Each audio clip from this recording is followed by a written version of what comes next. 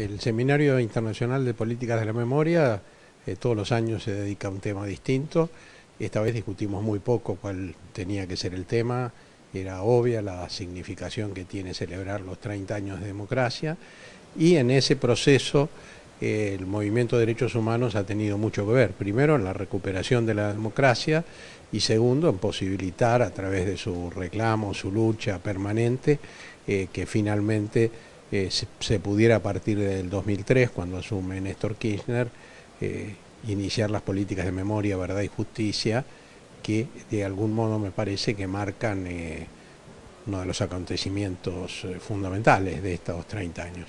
Es una noticia doblemente importante porque permite conocer mejor cómo funcionaba la dictadura, confirmando lo que ya se sabía en cuanto a a las políticas de, exclusión de todos aquellos que pensaban distinto, eh, pero además también porque muestra que efectivamente todas estas cosas se documentaban.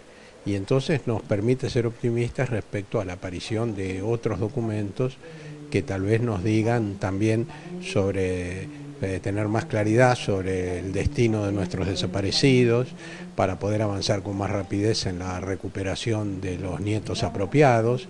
Entonces, en ese sentido, yo creo que ha sido recibida como una noticia eh, que muestra un camino que esperamos que podamos seguir transitando.